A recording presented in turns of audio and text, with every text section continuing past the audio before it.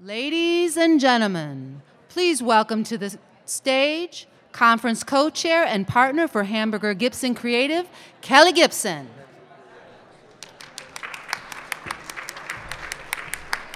Hello, everybody. Come on in, take a seat.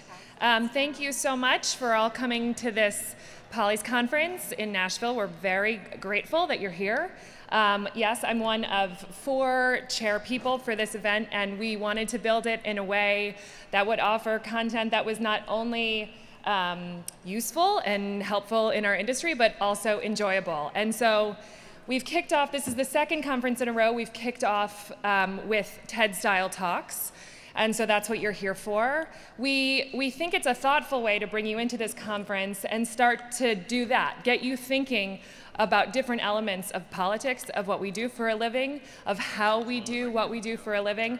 A lot of us are going into a busy election cycle. And so we hope to give you tools to do your work, but also strategies to survive a cycle. And so our first speaker um, is going to do just that. She, um, she is going to talk to us about how you can find peace and calm in just 60 seconds. So, come election day, we can all call her up and thank her for our survival and serenity. So, with, without further ado, let's welcome to the stage Frida Eject.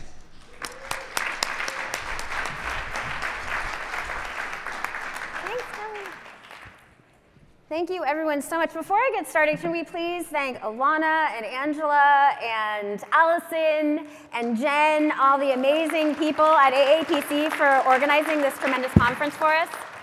Um, these things are no small feat, as many of us know, and they definitely um, merit our thanks and appreciation. So, let's get started. How many of you have worked on a campaign? Hands up. Yes, so we're all in this together. Staying in the office till midnight, freebasing caffeine, only to come home to get back on email, Facebook stalk people, get FOMO pissy, um, or watch mindless television, falling asleep on the couch, getting in bed if we're lucky, only to wake up feeling hungover with exhaustion and potentially dreading the day. All too often, those of us who work and live and play in politics, from campaign volunteer all the way to members of parliament and Congress, believe that our own personal well being is something that we have to compromise in order to help those we seek to serve. Just thinking about that woman who works three jobs to support her family, we tell ourselves that we have to go, go, go with a compulsive drive, even though we aren't thriving. What if in order to improve her life for the better, we get to change ours first. I know this all too often, and it's too true. 10 years ago, I was on the outside at the top of my game. I was building and scaling political organizations that were gaining statewide recognition. I was advising winning legislative battles in 25 states. I was a county commissioner. I was even considering a run for office myself. And on the inside, I was battling and struggling, excuse me, with a devastating eating disorder that ruled me and controlled me and disconnected me from being authentic and whole. So I hit a bottom, finally, hallelujah, and went on sabbatical and moved to London to earn my master's in organizational and social psychology for the first time in a decade without my feet actively on the ground, working on a campaign, I saw a trend from 5,000 feet away, or 5,000 feet, 5,000 miles away. That would be pretty close, right? And I saw a theme that those of us that cared the most deeply about our political space were potentially self sabotaging. Not all of us struggles from an eating disorder, but many of us do have a hurdle or a barrier, an interference that gets in our way of performing as our best self.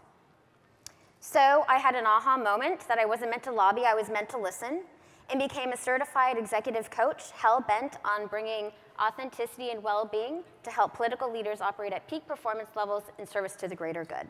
So I moved back to the United States. It was 2013. I've been doing that precisely that ever since.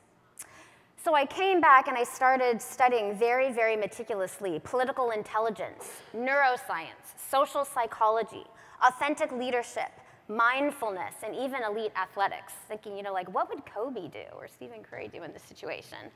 And blending the theory and practices together into these micro strategies that could be applied anywhere, at any time, by anyone, especially in those brief moments of pause in the intensities and rigor of political life. I started working with campaign operatives, with elected officials, with civil servants, and even the noble men and women of our Pentagon that are keeping us safe. And we saw significant impacts on stress management, improved decision making, honed vision, building resiliency, and powerfully connecting across divides. And together we made meaningful change. A parliamentarian was caught in indecision, and through the power of visualization a la Olympians, she was able to gain clarity and powerfully bring a committee to make a decision on an innovative reform.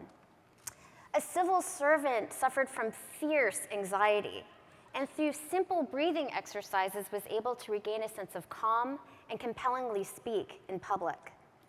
A mayor felt he had lost his way, and through a series of simple, powerful questions was able to reconnect with that energizing vision that propelled him into public service in the first place. And the best part is, many of these things just take a matter of minutes. So, to kick us off, why don't we do one right now? What do you think? Yeah. So this one is called the Political Leader Mindful Minute. So indulge me, just get comfortable, make sure your feet are anchored firmly and evenly on the ground. Maybe roll your shoulders back a bit. If you're anything like me, you might hold tension in your shoulders, loosen your jaw. And put your hands at your side in your lap, whatever feels comfortable and natural to you. And when you're ready, close your eyes and connect with the inhale and exhale of your breath. Breathing in through your nose and out through your nose. And again. If at any moment, at any time, your thoughts wander, congratulate yourself for noticing.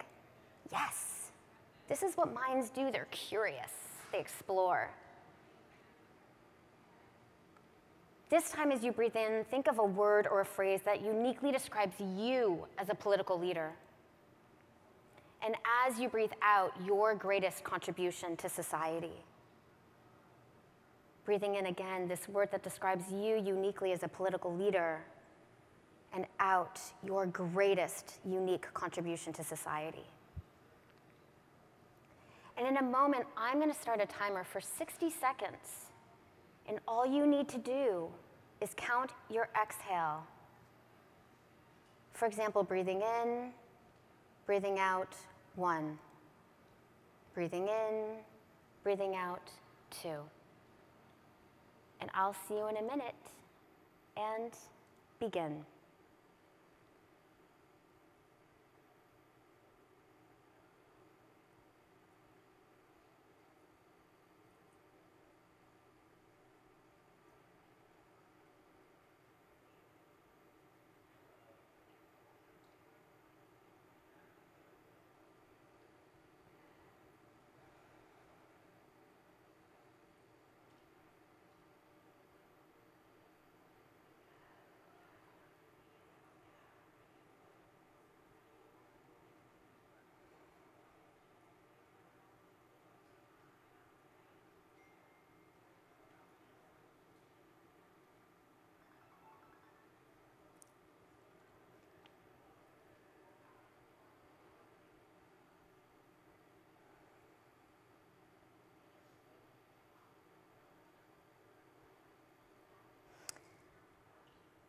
Welcome back.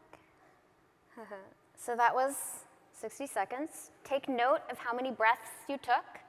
At any point, at any time, no matter where you are or who you are, and you feel yourself revving up or wanting to disengage, count your breaths that number of times or set a minute on your smartphone and reset.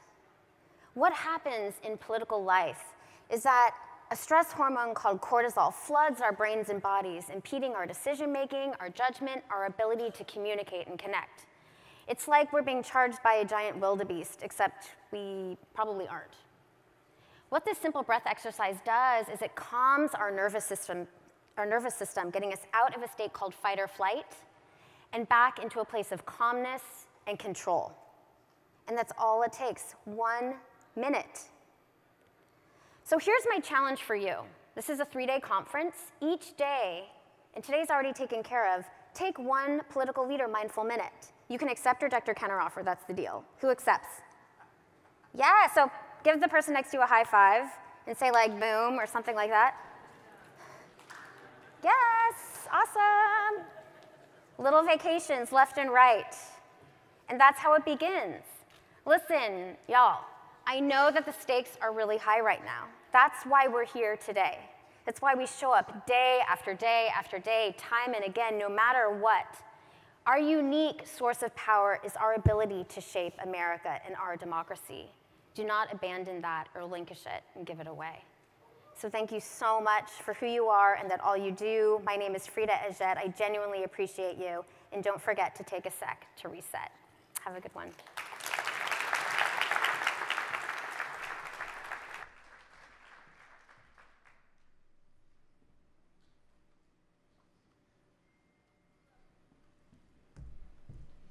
Frida. So, um, any cord cutters in the room? Or people that watch shows on your phone or your tablet or TV or all at the same time? All of that. Our next speaker can tell us a little something about the way people are consuming information. So, please welcome to the stage Nick Garamoni.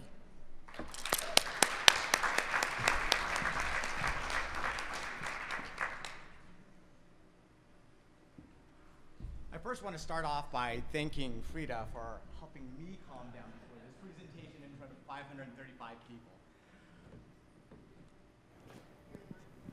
My mic is not on. Is my mic on? Okay, thanks, Zach. Oh, I'm a little bit too loud here. In 1990, as an undergraduate biochemistry major, I, through a series of fortunate events, got an internship at the top rated TV station in Denver, Colorado. And it was at the TV station in those early years, and frankly not at the lab, where I learned about the ability for television to inspire and to engage. It was also at that time, strangely enough, that I developed a passion for local television advertising. So throughout my early jobs in local broadcast and local cable, I knew that television wasn't really good at targeting or using data, not sophisticated at all. But having a science background and being enthralled by technology, I knew one day would come when things would change. And that day came a few years ago, but today we are seeing a revolution in the way that people consume television content. They're getting better content anywhere they want, as much as they want, whenever they want. And for advertisers, organizations, and candidates, this truly is television advertising's renaissance. Though you wouldn't think so if you read the apocalyptic headlines in the paper about the death of television. Well, I'm here to tell you that the death of television has been greatly overexaggerated. Now, you can't blame people because we're all enamored with these devices, the smartphone, the iPad, the desktop connected televisions, et cetera. And quite frankly, the digital industry has some compelling offers, including, and especially in advertising. What we haven't done a good job of, and what I haven't done as good of a job of, is really describing the connection people have with TV. In fact, if you take a look at fourth quarter, according to Nielsen, an average adult spent more than 31 hours consuming television.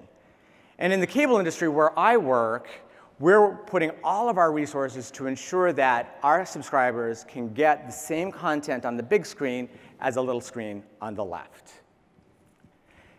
Television is truly everywhere today.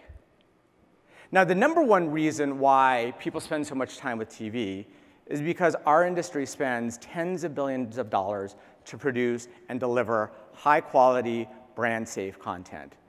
There are hundreds of series that come out every year and literally thousands of sporting events where local fans get to watch their favorite teams. And of course, there's a surfeit of news out there. It's probably no surprise that the activities over the past couple of years have driven up viewership to national cable networks and other cable and other news sources out there.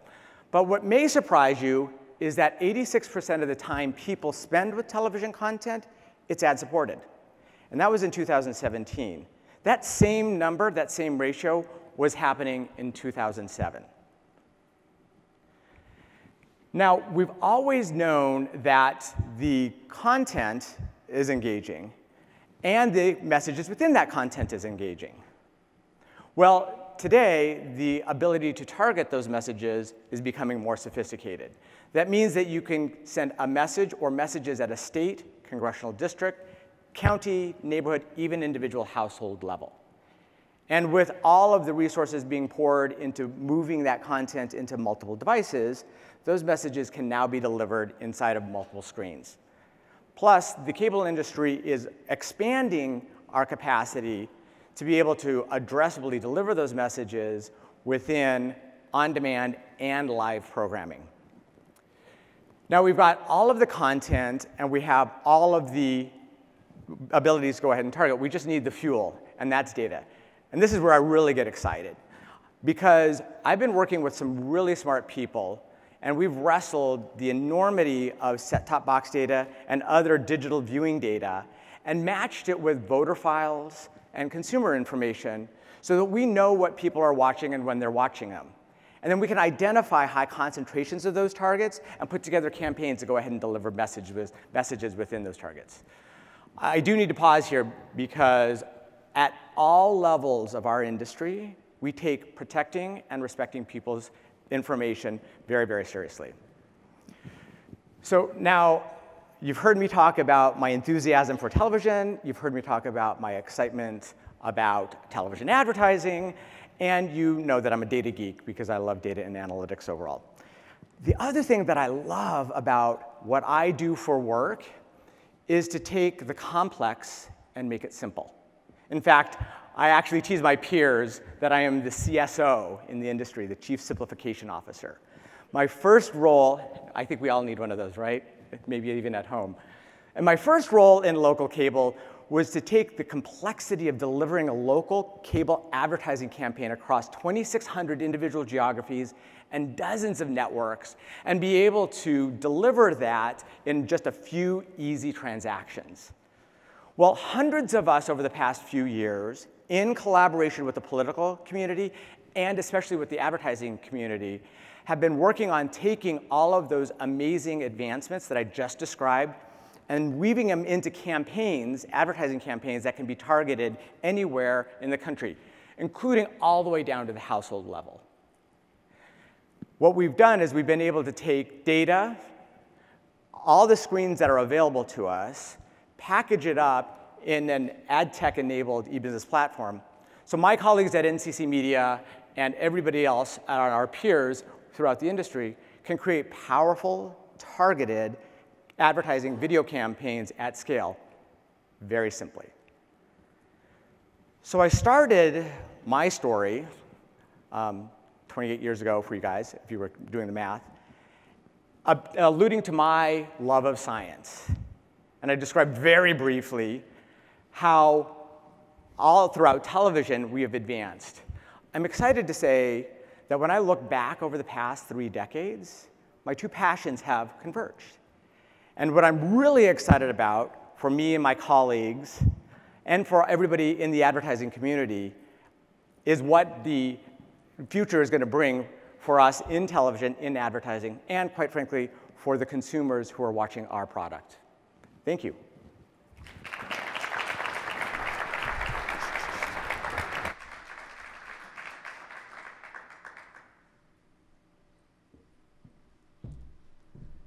Thank you, Nick. I feel like my viewing habits probably tell the world exactly what I am a feminist, progressive political consultant. And here, all these years, I thought that was a choice that I'd made to be just that. But our next speaker, Michael Long, thinks otherwise, that maybe I was just wired that way. So let's welcome to the stage Michael Long.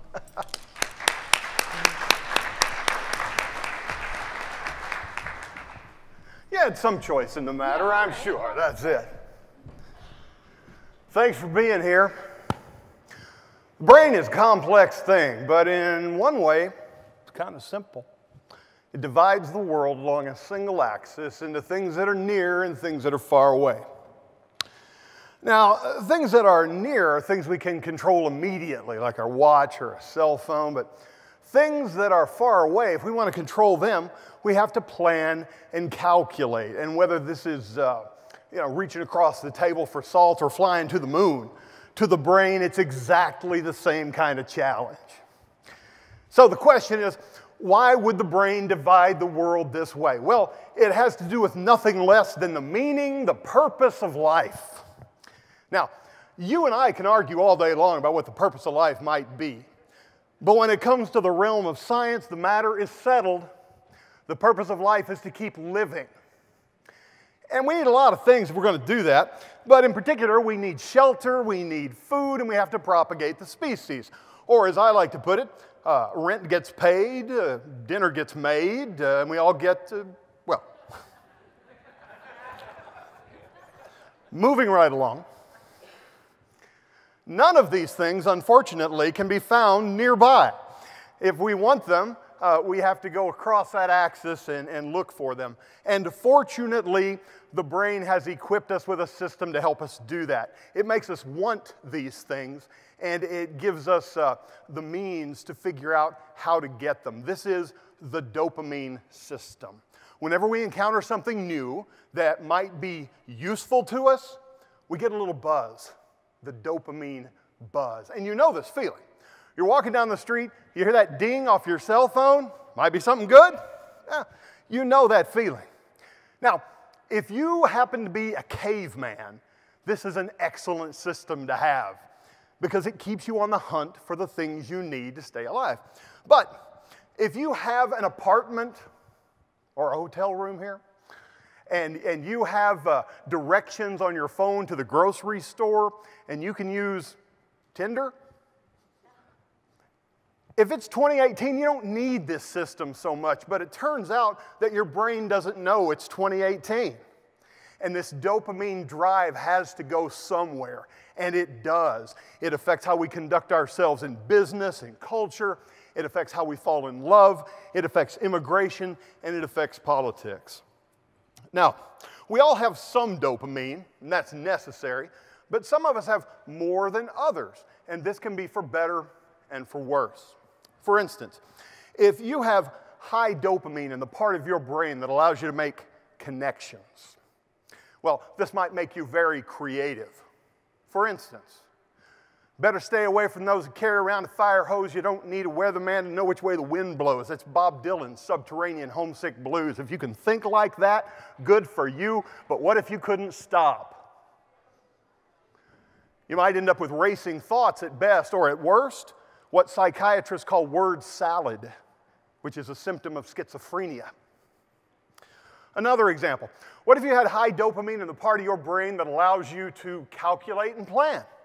Well, this might make you very good at business, but that can go off the rails as well.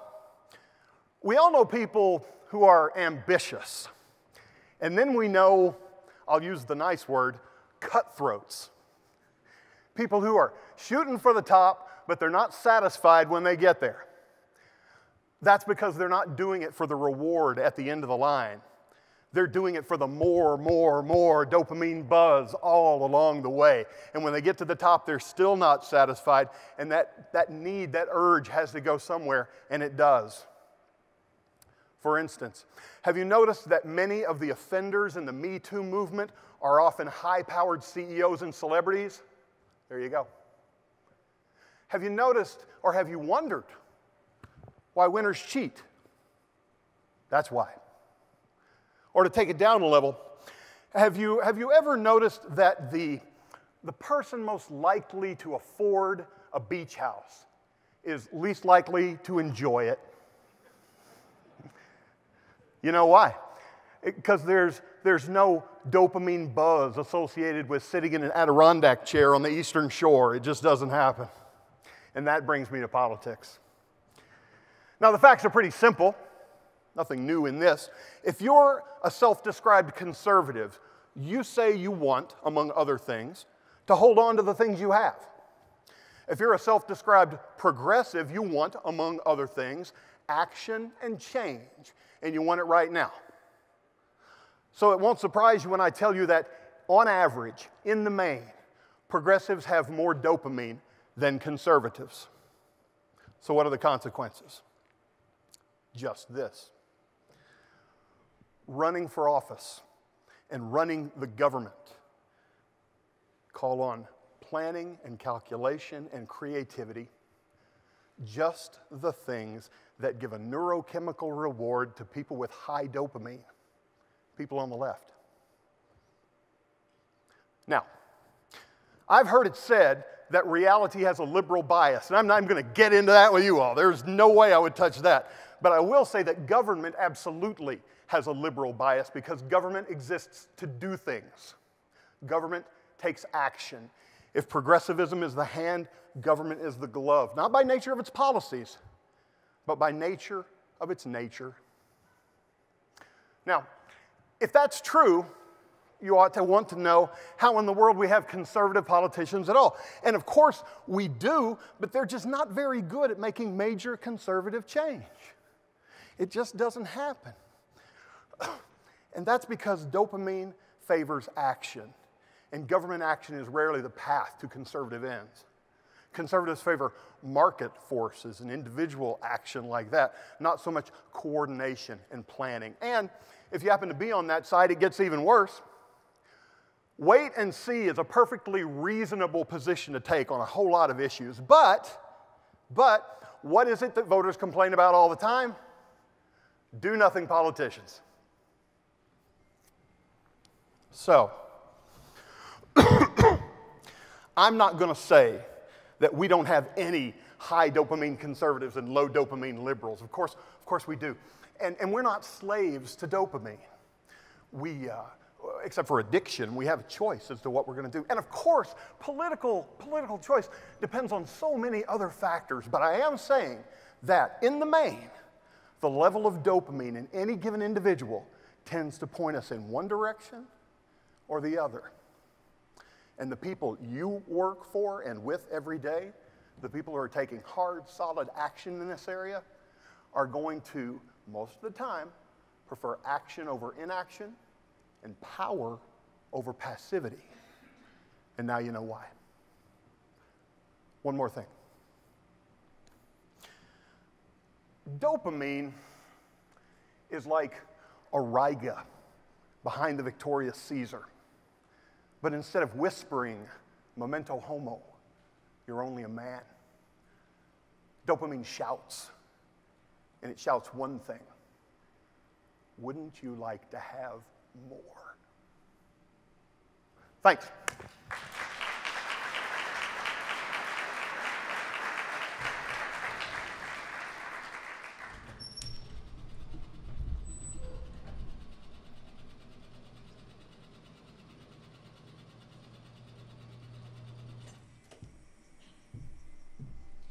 Don't know what you all took away from Michael, but what I took away is that the Democrats are going to win big in 2018. Is that what that's what that's what I heard? Thank you very much. That was very interesting. So next up, we have um, Thomas Peters on the stage, and Thomas has a real story for us about changing one's life in the face of tragedy and obstacles, and how you can turn it into something real and good, and as it turns out, effective. So let's welcome Thomas. Thank you. Good afternoon, everyone. Do I have a clicker for me, perhaps?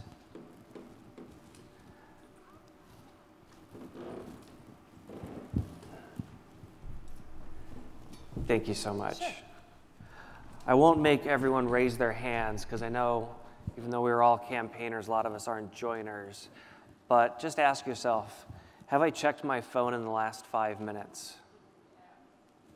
Now ask yourself uh, in this next seven minute speech, will I probably check my phone again? And if you're like me, the answer is yes. And that's the first point of my speech. We live in this thing called the attention economy. Time is our most precious asset, and attention is the way we spend it. As political consultants, we need to adapt to this new paradigm. Now, I came to this realization about the importance of time and attention on election night in 2012. I was at a Mitt Romney victory party in downtown DC. We realized early in the night that we had lost, big league. So the party quickly dev- devolved into a bunch of depressed people sitting around an open bar.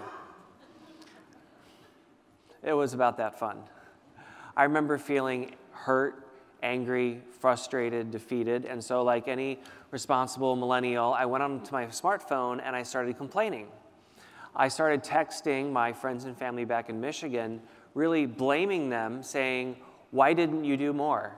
Why didn't you like do more than just go out and vote? And they pushed back and they said, Hey, politics isn't our full time job. We have to live our lives. We voted, what else are we supposed to do?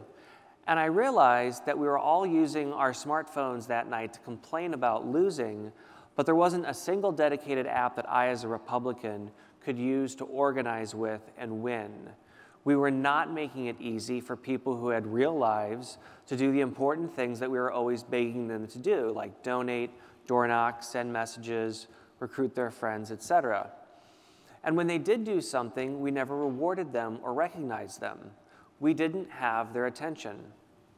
And that's why apps are eating the world as we know it. The practical ones reward us for the time we spend with them. They make our lives easier and simpler, and they occupy our attention. Did you know that 90% of all time we spend on our sm- smartphones is spent on an app? How many of you, since I began this uh, talk, have already probably checked your phones? I bet you it was an app that distracted you. And that's the idea driving my company, UCampaign. Capture the attention of your top supporters where they live on their smartphones and make it as easy as possible for them to take action quickly. Great ideas sometimes get interrupted. On July 16, 2013, a little less than three months after I got married, I um, was at a friend's house on the water and I had a terrible swimming accident that left me a paralyzed quadriplegic in a wheelchair. After multiple surgeries, three months in two hospitals, I came home, discharged uh, by my insurance, out of work, and began a grueling two year regime of physical rehabilitation to recover whatever function I could. When I came home, all I could really do was shrug my shoulders and move my head back and forth. Perhaps the cruelest thing that sunk in during this time was I realized I wasn't going to be a hotshot political consultant anymore. I wasn't going to be a spokesperson. I wasn't going to be flying around the country, pulling 18 hour days, hopping on TV shows, um, networking late into the night. And then one day, I remember very vividly, I learned how to hold my phone again. And I realized that my accident, even though it had closed a lot of doors, was giving me an opportunity that I would have otherwise not had. The opportunity was to found the company that I dreamed of on election night 2012. I decided I would try to build the app that would help the next Republican win the White House, and that dream came true for me. Here's how we did it we found a backer, I found one developer, and in July of 2014, we went to work. Everything I told you about the attention economy and the need for speed and ease we put into the alpha version of the app. First of all, we tried to make it as easy as possible to do any action, five seconds or less. Uh, we tried to make sure the app had relevant information and content so it was actually useful. And the biggest breakthrough was gamification. I spent, or wasted, if you ask my mom, a lot of time in my youth playing computer games. I knew that, it, that gamification got me hooked. And so we tried to make our app fun and social because at the end of the, end of the day, we're competing for people's attention. That's the enemy, how distracted people are. And so for every action, you earn points, or as we call them, action points, AP. Lots of AP earned you a badge, and that badge appeared next to you on the app's social timeline so you could stand out and be impressive in front of your friends. By the way, Facebook, Twitter, Instagram, all these social networks use gamification the number of followers, the number of likes. We simply expanded that concept to every single thing. It might be hard to see, but these are screenshots from a bunch of our apps where people are posting the top badge that they've earned, bragging about it, and then they're getting, we're talking about dopamine earlier, they're getting likes and responses from other people saying, good job, keep going. Um, our savviest clients take this concept of gamification and extend it into the real world with things like bumper stickers and Star Wars tickets for Ted Cruz supporters, or front row seats at the kickoff rally for Danilo Medina's top supporters in the Dominican Republic. Again, anything that grabs people's attention and gets them more addicted to the app. Our ideas and our theories got their first encounter with reality when we launched the official Ted Cruz app on July 7th, 2015, which we built from the ground up using our UCampaign platform. We didn't start with five star reviews. I remember that very vividly. But we iterated and improved on our concept by reading thousands of pieces of feedback from Ted Cruz's top digital activists, and we built the app that they asked for social news feed, user profiles and timelines, social plugins, more ways to earn points, dozens of action types. And that's how he kept his supporters engaged over the nine months that we ran his campaign. By the end of it, the app had been downloaded uh, over 90,000 times. Supporters accomplished 1.5 million actions just for giving out, just by giving out bumper stickers and T-shirts, uh, including 350,000 peer-to-peer messages and we invented a feature that allowed a user to see in the app which of their friends and family were most likely to support Cruz, and we asked them to send a personal message encouraging them to vote for him. We started out by having his supporters send about 3,800 of these personalized messages to people walking into the 2016 Iowa caucuses, which Cruz won by slightly over 6,000 votes. This was a message from a friend or family member they knew so we knew it would grab their attention, and we did this for every primary going forward. Again, the magic was capturing people's attention. After Cruz, we built the official UK Vote Leave app, which was the craziest three weeks of my life, but I'm not allowed to talk about it because I don't have enough time. You'll have to invite me back next year if you want to hear that story. When it came to building the official uh, Donald Trump for President app, we had the experience of the Cruz and Brexit apps behind us. We knew which kind of actions people liked, what was the best ways to motivate them, and how to keep their attention. Daily check-in bonus, weekly leaderboards, live videos of rallies, and how to get them to engage their wider audience, personal invite codes, crowdfunding tools, etc. By election day, 150,000 Trump supporters had downloaded the app. They had performed 1.2 million actions. And in the final seven weeks, that included 300,000 of these peer to peer get out the vote messages targeting persuadable voters in swing states. And these are some of the badges they came up with, all the way from apprentice to big league. By this point, at the end of the election, we'd made, we'd made it so easy for a supporter to have an impact that within five minutes of downloading the app, if they said yes, we would scan their contacts and show them all the people they knew that we believed would vote for Trump. And it gave them a pre scripted message to send personally that would match that recipient's top issue. So it asked me to send my mom in Michigan a message saying that only Trump will repeal Obamacare, and it asked me to send a text to my aunt in Florida uh, saying that only Trump had a plan to build the wall. This is nothing like what we had in 2012. It was easy, effective, and fun, and it worked. In 2017, we expanded the U campaign idea to 12 countries. We've now produced over 50 apps.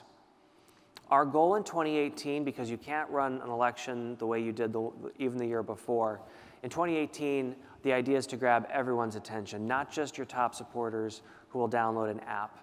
The way to do that is peer to peer text messaging.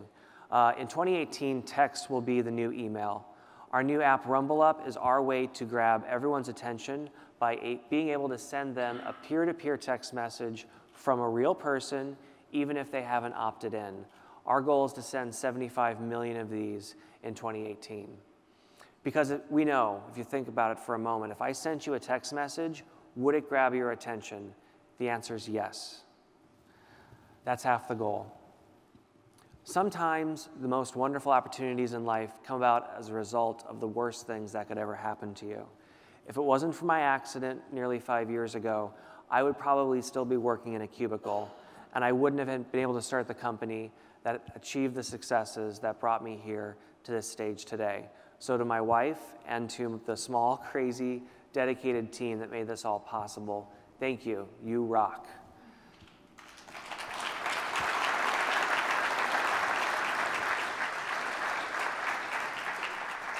I'll just close by saying that if you want to get my attention, the best way to do that is to text me. And thank you so much for yours.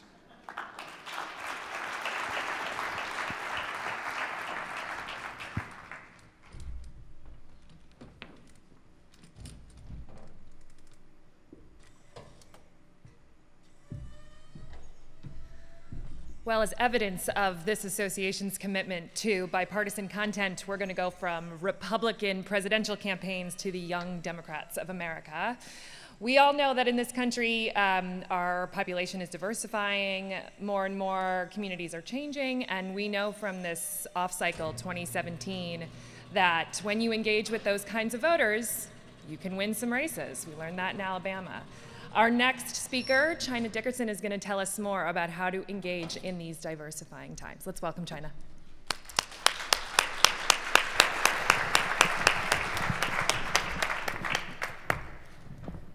Hello, everyone. Uh, my background matches my shoes. I just wanted to point that out. Uh, so, two things.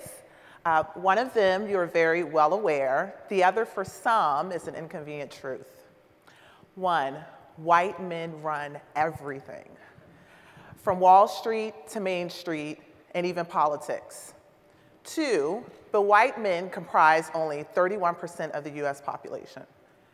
Despite men comprising only one third of the population, 97% of all Republican elected officials are white, and 76% are male.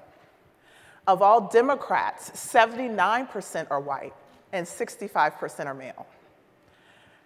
Not only do white men sit in an overwhelming majority of elected seats, they're also the majority of political consultants. So before I go any further, let me be clear, usually I'm partisan, uh, but this isn't a Democrat Party problem or Republican Party problem. This is a bipartisan issue. As of 2014, the Census Bureau reports that 38% of the population is non-white, rising to majority minority by 2044. And according to exit polls in 2016, 30% of the voting electorate was non-white. If the voting electorate trend is consistent with the population trend, more and more voters will be non-white. With that, shouldn't political representation reflect the diversity of the country? And to appeal to those voters, shouldn't candidates consult experts from various backgrounds? Listen, the problem in America is that we are fighting to be colorblind gender dismissive, and faith indifferent. Human beings are complex, and our differences make us beautiful. What we need is a more reflective representation. I am black, in case you didn't notice. Um, I identify as a woman. I'm 5'10", though I love heels, 200 pounds, and though I look 26 years old, I'm actually 34. Um, you don't know me, but I'm pretty great. Ask my friends, not all of them, I'll tell you specifically which ones. Um, my point is that I, I would like you all to accept who I am and appreciate my experience and what I can offer to this nation. If we all accepted the diversity each of us bring, we would encourage a more diverse pool of candidates, elected officials, and political consultants. So I've shown you the problem, now let's talk about solutions. Don't you just hate people that complain and complain? They're not like, they're C people, not P people, not solutions-oriented people. Well, I won't be that person today. Let me help you help us. First, we need a bigger pool of women and people of color candidates. Yes. Oh, thank you. I appreciate that. Uh, uh, since the 2016 election, you all may know, over 30,000 women, it's more now actually, um, have contacted a political organization about, to how, about establishing a campaign, how to run a campaign. More importantly, women make up more, this qualifier is important, more than 50% of the population. With these numbers, we should start to see more women running for office and winning, and we are.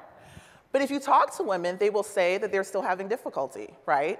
They're still facing people who have been in office for a long time, multiple terms, incumbents, right? And they still have difficulty in raising large, raising large amounts of money. The solution let's invest in organizations that prime women to run for office, and let's donate more to women candidates. If women and people of color start to see that it's easier to raise money, then that sets an example for the next generation, the next cycle of candidates.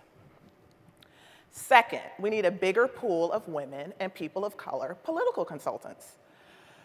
Black women, as you know, blew up, maybe blew up isn't the right, turned out and voted very heavily in the Alabama, Virginia, New Jersey elections, and many others, right? We're seeing Latinos speak louder and spend more money in their communities. Asians continue to dominate the tech sectors. So shouldn't candidates running in communities with these demos seek the advice of experts that most relate to those community members? Now, I started off talking about white men. I'm going to continue to do that. We're still seeing high level campaign jobs and elected offices being dominated by white men. So, no shade to white men, but I hesitate to believe that a white man who grew up in California with wealthy parents and a postgraduate degree understands the struggle, able to sympathize, but we're talking about empathy, empathizes with a woman immigrant, 22 years old, raising a child on her own, with her predominant language being Spanish. The solution. Do you work for a, for, do you work for a firm with everyone looks like you? or comes from a similar background as you. Strike up a conversation with the partners of your firm about diversity and inclusion, and make sure to emphasize the positions of, of power. If you want to help your clients, you'll give them the best tools and the best advice. Third, we need to not suppress voting. Now, before the boos and the cheers, I understand that this issue has partisan critiques, but I'll spare you that. I'll spare, spare you that and just stick to what I think we can all agree on. Why the hell is election day on a Tuesday, a work day, and typically doing work hours? If you have more than one job, if you have to drop and pick up your children from school, if your polling place is not near where you work, then election day being on Tuesday is ridiculous. And guess who it disenfranchises? Women and people of color because those groups of people are more likely to not have the flexibility in their schedules to allow them to go into work late or leave early. The fix is to make election day on the weekend, like Louisiana's been doing for decades, or let's make it a holiday. Let's show people that we understand that while they don't have the most flexible schedules or lives, their contribution to the political process is necessary and, val and valued. Is this mission impossible? We continue to perpetuate and fight to break barriers that prevent women and people of color from being supported in our political systems. But you can change this. We can change this.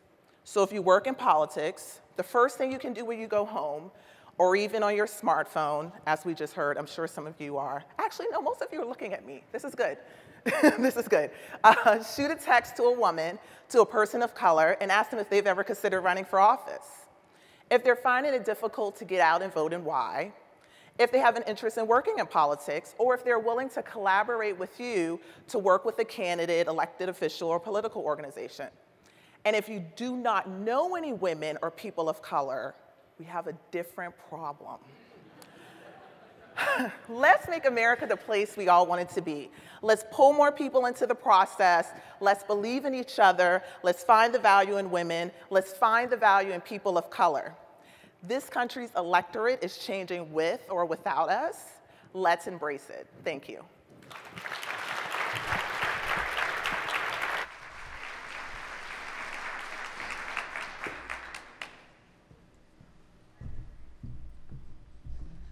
All right, political, political consultants, let's take a minute and imagine what it would be like if we celebrated our losses as much as our wins. It's a great idea, right? Come on up, Catherine Poindexter, tell us about that. Thank you. Hello.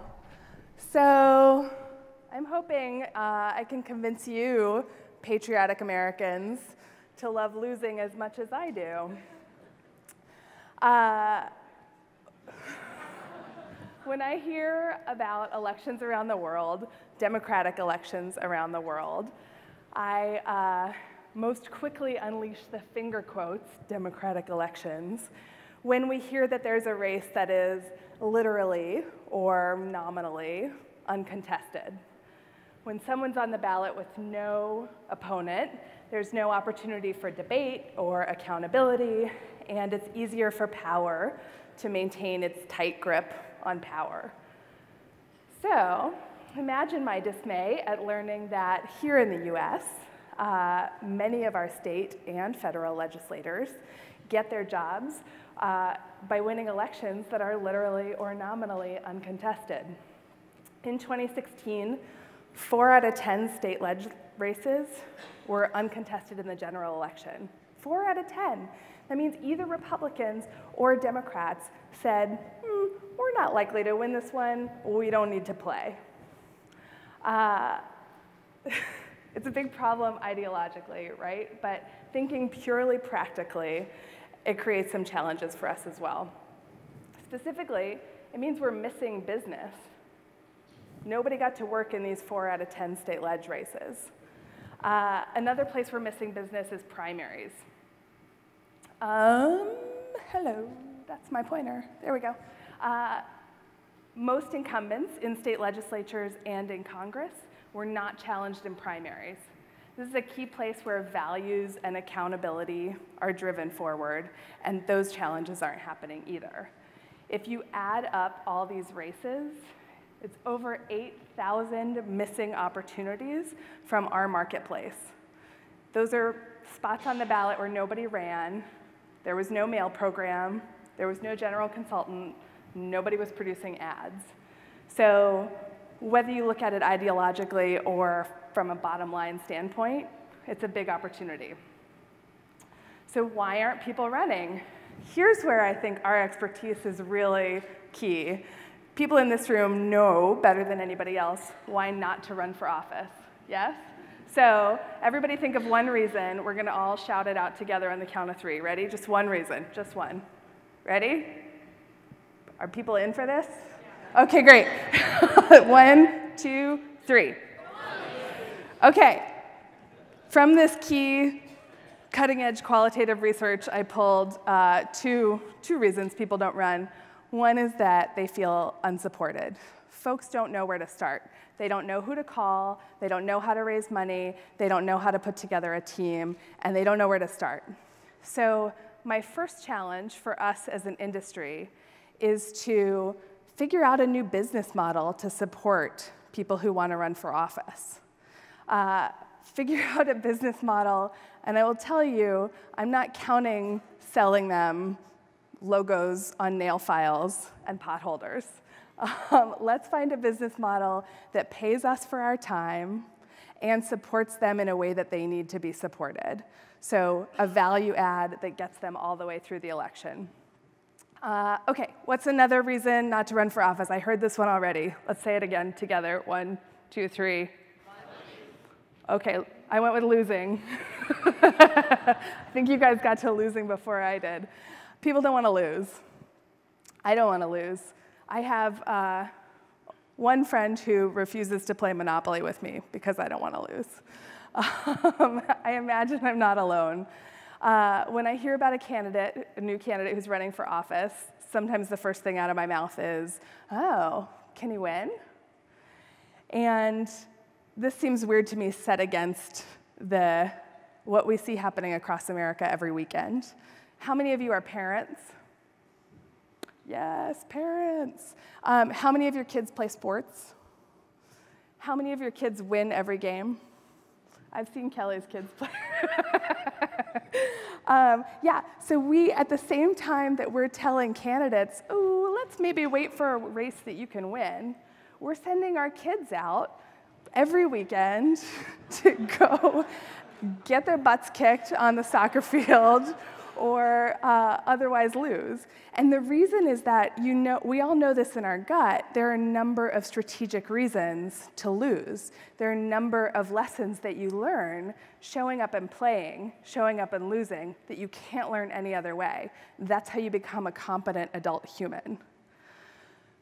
So it's not that far of a leap to remind you that there are a number of strategic reasons to have a candidate on a ballot, even if they're going to lose. Uh, we can all think of any number of advantages that incumbents have, right? There's the incumbent advantage. What if that's not an incumbent advantage? What if that's a veteran candidate advantage? What if you get that just by running again a second time, whether you won or lost the first time? If we can shift our thinking and remember that losing has a strategic place, can be a key part of a long-term strategy, we can make it a little easier for candidates to run for office. Um, people sometimes need to be able to visualize this, so I talk about two trajectories in particular. Um, one, lose big, then win small. People say, oh, I want to be a state legislator. I suggest, let's run statewide first, or let's run for Congress first. And it freaks people out. But if you think about everything that you accomplish, even in a losing congressional race, uh, you get a lot of the way there. So the next, when you're filing for state ledge, it's that much easier. The flip side of this is the Katie Ledecky strategy. She's my favorite Olympic swimmer at the moment. And the, this strategy is built on the idea that it's a marathon, not a sprint. You can't swim every race holding your breath. You wait until you're at the Olympics to hold your breath. There are any number of candidates, parents, people who work full time, people who are taking care of their parents, who don't have the opportunity in their lives to remortgage their house, to quit their jobs, to renegotiate their child care agreements. And so if we can help them start to run in a training kind of way, we're more likely to set them up down the road. And you and I both know the secret that once they start to run, opportunities are going to pop up a lot faster than they think. So those are two ways I help people think about losing as part of a long-term strategy. And this is my second challenge to us as an industry is let's not be this guy. let's not tell people that there's no such thing as second place. Let's be these coaches and let's ask our candidates, what are the long-term goals of this race? let's remind people that they're building skills and uh, consolidating organizations and people. And let's remind them that they need to just get back out on the field. We have a real opportunity to both grow our business and strengthen our democracy over the long run. So, hip hip hooray for losing. Yay, losing! Thanks.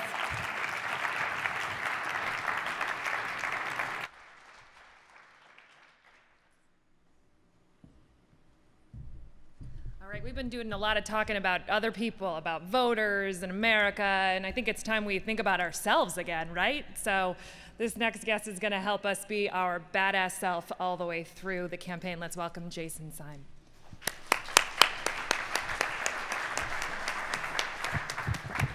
Thank you. All right, everyone. Stand up. We're going to do some yoga. I'm just kidding. All right. 13 years ago, this was me. 75 pounds heavier than I am today. At the time, I would say, I'm in the best shape of my life. I would tell my friends, I'm in fantastic shape. You're not in good shape. Look at me, I'm in great shape. Until I started having irregular heartbeat. So I went to a cardiologist.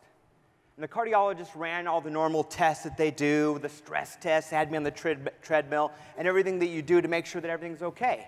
And as he was going through the results with me, he was sitting, and I was sitting on a table, and he looked at me, and I was telling him, I'm in great shape. I just ran a marathon. I'm in fantastic.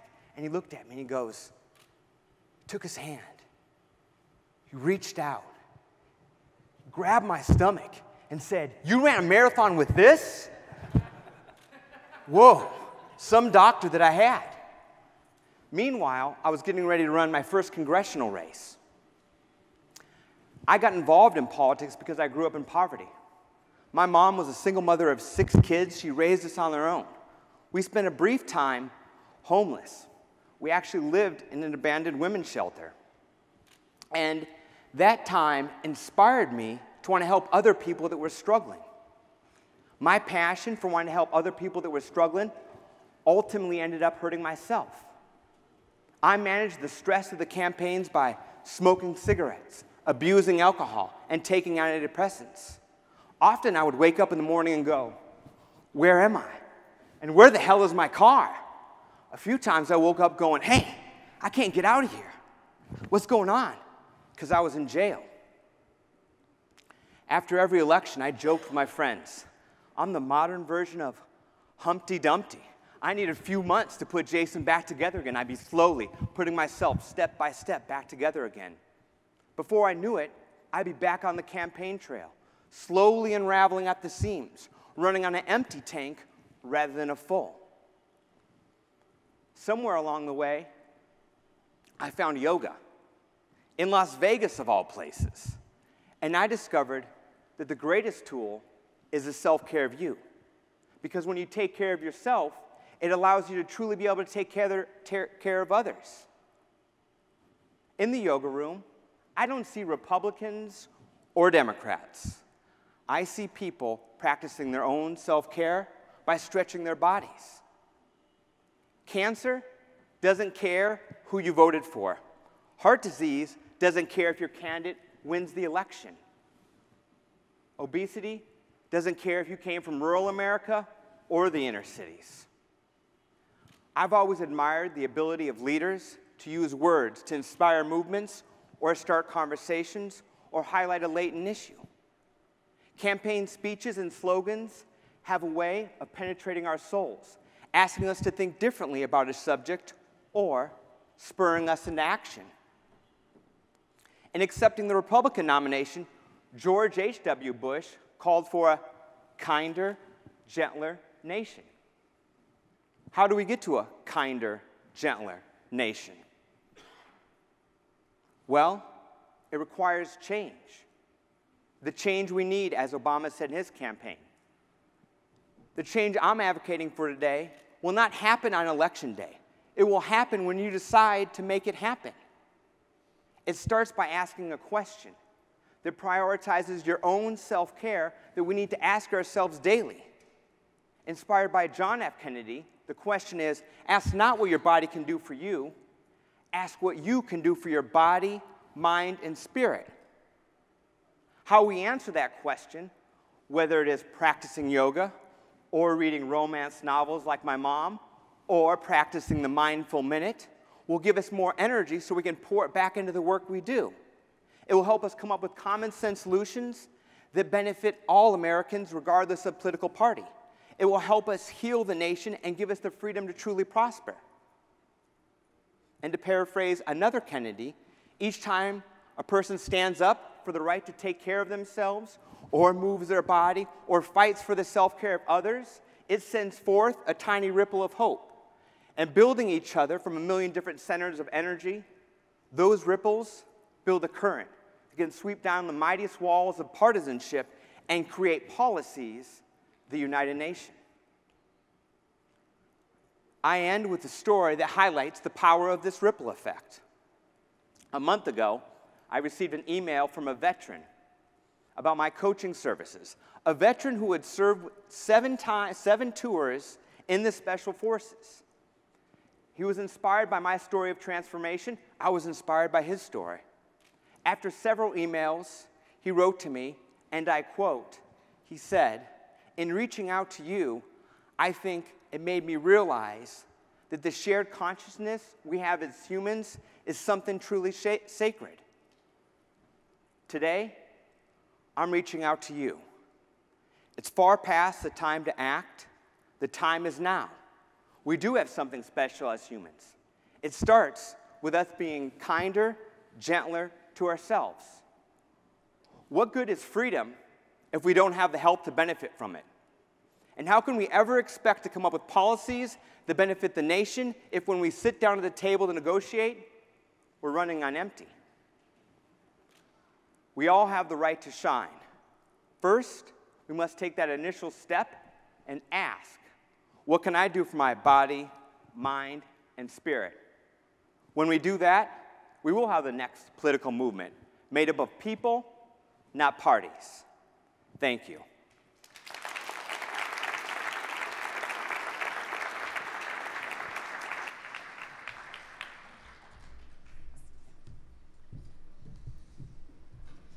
Our next speaker is both a filmmaker and a political consultant. I mean, how about best of both worlds, huh? He's going to join us on the stage and tell us a little bit about the bridge between aesthetics and audience. Let's welcome Matthew Taylor.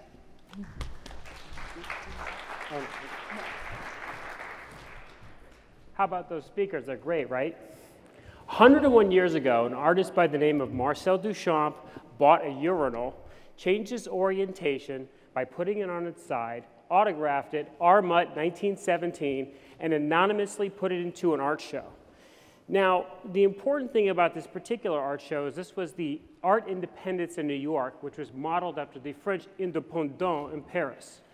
Both of these shows had a similar motto, no jury, no prize. It basically means that anybody could put a piece in the show for six bucks. And Duchamp was asked to sit on the board primarily because he was a French artist and had experience with the French Indépendance. So what's with the urinal then? Well, five years earlier, Duchamp did in fact enter a piece into the French Indépendance in Paris. And what happened? Well, the Cubists, who were the dominant art movement at the time, were very doctrinaire, and they said, nudes cannot descend the stairs, they can only lie down.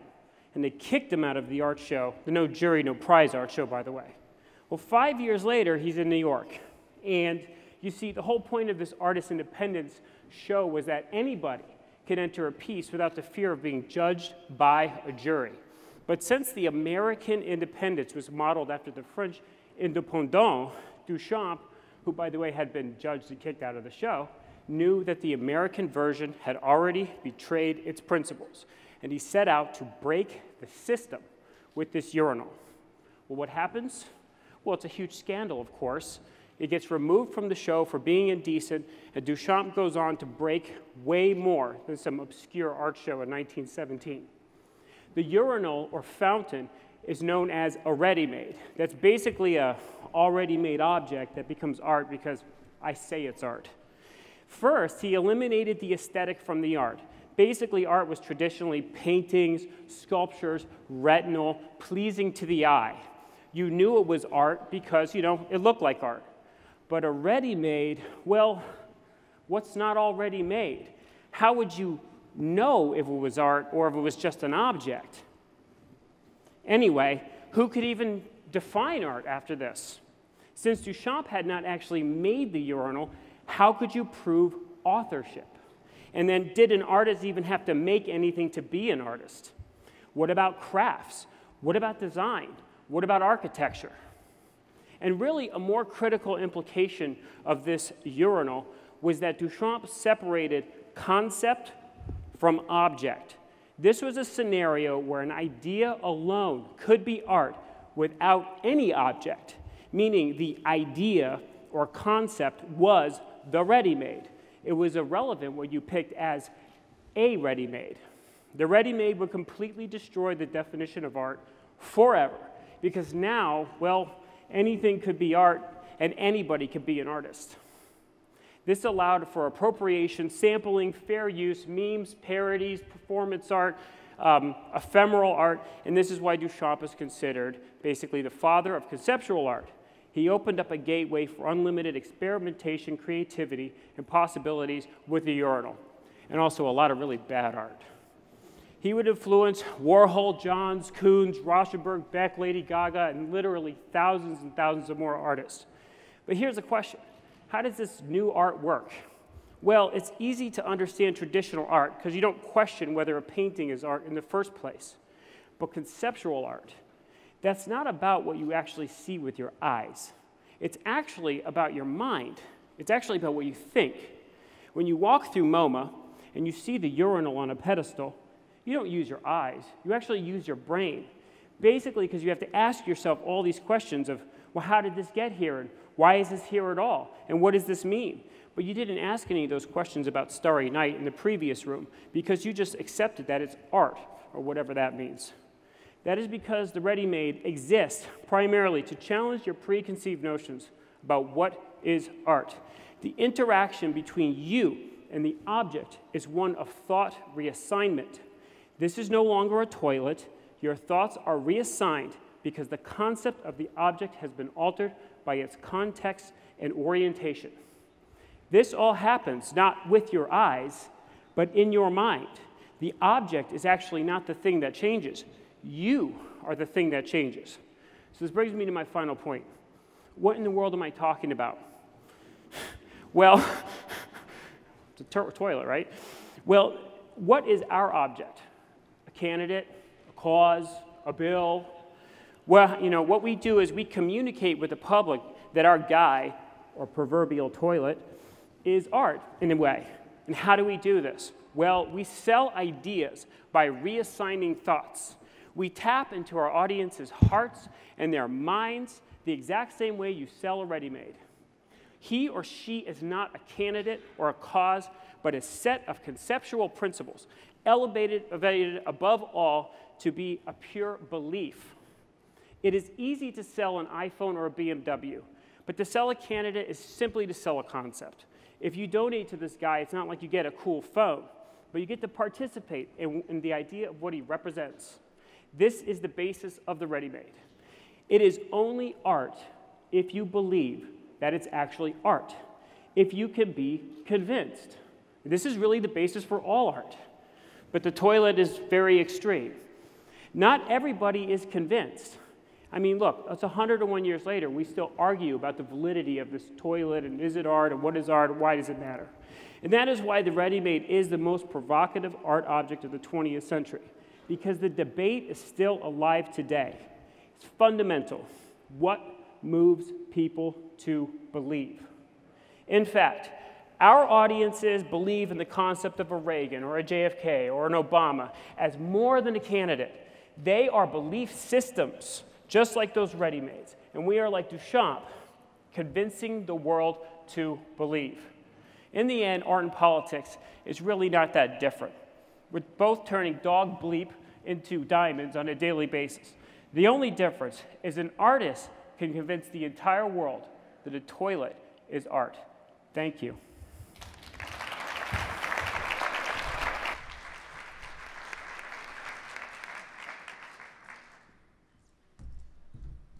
All right, ladies and gentlemen, we are coming up on our last TED Style speaker, and we've decided um, to take ourselves out of our country and into a country where running campaigns is way more challenging than it is here. So we let's welcome to the stage Elisa Totaro.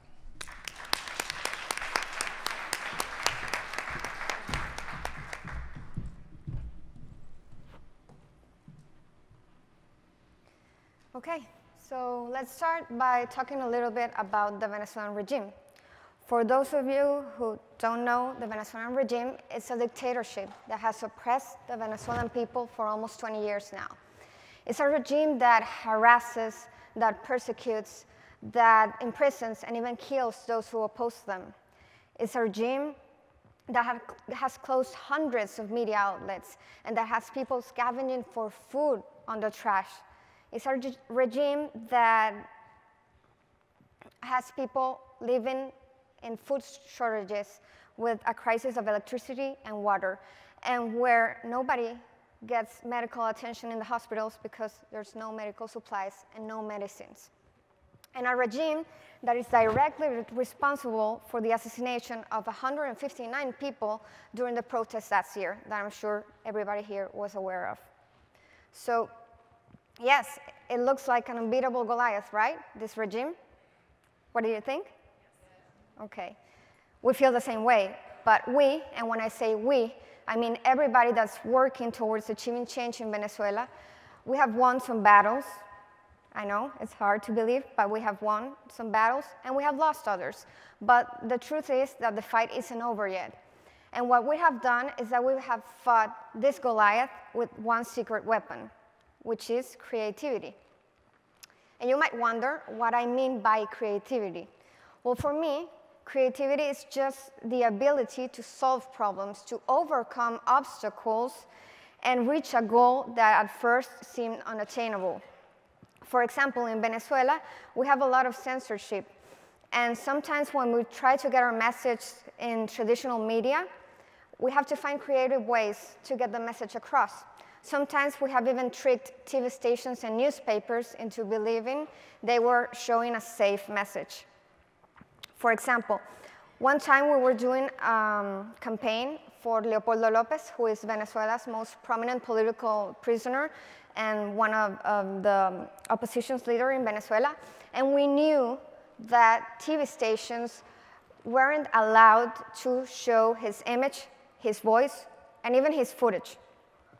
So what we did is we created a series of TV spots that showcased messages written and signed by Leopoldo that were received by the main characters of the spots and that generated a good reaction. And in this way, we managed to bypass the censorship that was imposed in the TV stations. And we managed to get Leopoldo into people's minds. Because as you know, well, the internet helps a lot, but it doesn't reach everybody as TV does, in the, in the case of Venezuela specifically. So as you can see, it's pretty tough to do political advertising in Venezuela. But as you say here, when the going gets tough, the tough get going. And Venezuelans are very resilient, maybe too resilient. And we have taken the streets many, many times in the past 18 years, demanding for change.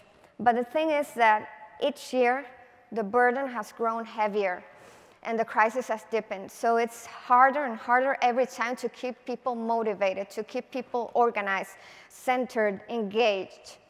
And this is where creativity comes in handy too. For example, last year, um, I'm sure you heard of it or saw it in the news, uh, we had four months of continuous protests on the street. And what we did is we created a Facebook page called Venezuela Protesta, Venezuela Protests, where we taught people how to protest in a non-violent manner. We taught them how to defend themselves from tear gas bombs, from rubber bullets, how to make, um, how to make a bulletproof vest out of x-ray sheets, how to disable the water cannon, uh, what to do if they got caught by the military forces.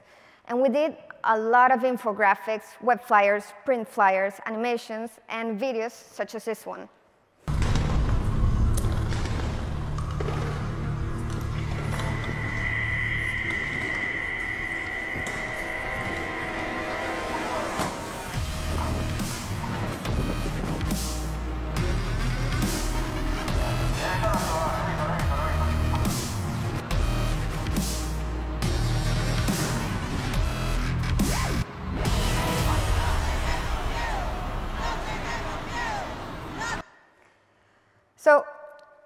We didn't plan for this brave, brave woman to stand in front of an armored vehicle of the security forces. This wasn't planned. But as soon as we saw that footage, we knew we had to use that to get people motivated, to get people to want to protest longer and more. So you see, with this, what I want to say is that creativity is not only creating new, amazing things, it's also taking advantage of situations and elements that are already there and make them serve your purpose. Creativity is certainly a good tool to educate. It's a good tool to motivate and to organize. All these things are relevant when you're trying to defy the status quo of a regime. But the truth is also that when you're fighting a dictatorial regime, resources are scarce. And you get all the, all the doors shut in your face when you're trying to look for funding for campaigns because people are afraid to give money for a campaign that goes against the government, a government that controls everything. So proper funding is really, really hard to come by. So we always find ourselves having to do a lot with little money. And if that isn't a situation where you absolutely have to be creative, then I don't know what is. I wanted to show a stencil graffiti in this part because I believe that um, graffiti is one of the cheapest forms of propaganda and one of the most effective ones too. Nevertheless, when you, when you type the word, the word propaganda on Google, you're probably going to get this as a result, like a bunch of typical war uh, posters or propaganda posters, classic propaganda. But you see, for me, propaganda is much more than that. Propaganda is the protest graffiti, it's the outcry portrayed in a sign, it's the, um, it's the declaration of purpose on a flyer, And when you're doing this sort of things, when you want to communicate for or against uh, someone or something, or when you want to rally around a cause, you absolutely need to be creative in the origination and the execution of the idea. Uh, going back to the case of Venezuela, uh, it has been difficult to, to keep on finding creative ways to get to people after all these years. And some might say we have received quite a beating in recent years by the government, uh, especially this year with the call to fake elections that are going to be held next month in Venezuela. But this is what we do. We get up, we fight, we find new ways to push through. We find new ways to give hope to Venezuelans that change is possible. And in a nutshell, because I'm almost out of time, um, when you're working against a Goliath, you're going to need to bypass censorship, work with scarce resources, motivate, educate, and communicate. And what do they have in common? That they need creative thinking in order to be achieved successfully. You need to be creative to bypass the censorship. You need to use creative thinking to work with little money. Really, believe me, it's really hard to work with scarce resources. You need to be creative to keep people motivated after all these years. You cannot say the same message every time, right? Like every year, change, change, change. No, no more change. You've been telling us the same thing for 18 years. People don't believe it anymore. So you have to be creative so that people keep on believing that, that change is actually possible. You have to educate because people have to learn um, how to organize, how to protest in a nonviolent manner, for example. And of course, you have to communicate. And um, I don't want to leave you without saying that creative thinking is best produced when minds and efforts are combined. And this is why, this is why I want to ask you to share your thoughts and your ideas on how to battle a dictatorship. Share them with me and with all the Venezuelans that are trying to find new ways to bring about change in our country. And we won't give up, so don't give up on us. Thank you.